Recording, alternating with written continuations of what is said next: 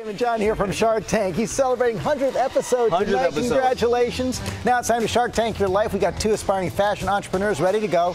And Daymond, of course, you're a big fashion expert. You know, you've uh, CEO of, of FUBU. And tell us, you think it's really important for people to get their personal brand down to just a few words. Yeah, you need to have it in two to five words because when you walk in a room, if you don't know what the two to five words are that you stand for, you leave it up to people to guess and interpret. So Apple think different, Nike just do it. Food before us, by us, two to five words. So when it comes to the product, what's that aha moment you're looking for? I'm looking for that. Why didn't I think of that? And how can I be down?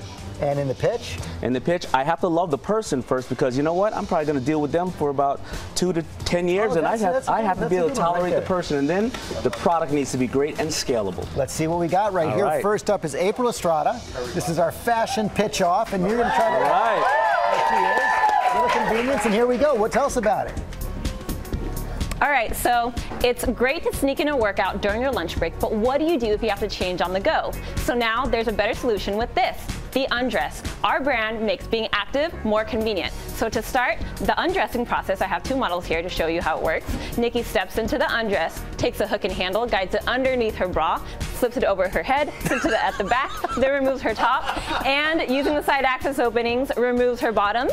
And using the same openings, Monique pulls her Wow. shorts all the way up, then puts on her new top, then releases the cord lock in the back, uses the same hook and handle to guide underneath her sports bra, and then allows the undress to fall all the way to the floor. The undress is your oh. fashionable mobile changing room. Love it.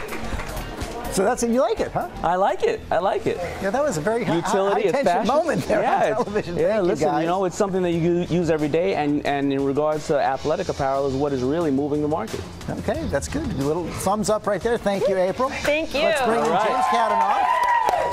He's invented a new style of pants that could make diaper bags a thing of the past. That's the diaper bag, James. Let's hear the pitch.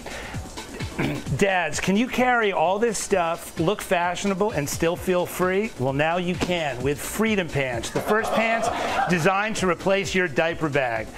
The uh, uh, the changing pad comes in its own pocket, ready for that baby blowout that you know is coming. All right. There's a special binky pouch to keep baby happy and quiet. Oh, nothing like the Bobo. And the adjustable utility pouches are thermal and waterproof lined so you can keep things fresh, hot, or cold. Our brand is about fashion, freedom, and functionality. So the only question is, what's in your pants? All right. I like it. The Mamper pants. The Mamper pants. Love them. Loves them. Okay, let's bring April back out. All we right. need a little bit of a drum roll right now. Because, Daymond, you have to decide. Oh, I have to decide? All right. What's the name of the pant again? Freedom And pants. And the undress? I'm going to undress right away. Sorry.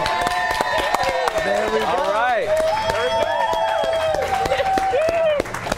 Thank So- you so much. How does it feel, April? Oh, this is so exciting, and I'm so excited to show our live demo on national TV for the first time. It's Very amazing. cool. Daymond, thanks a lot.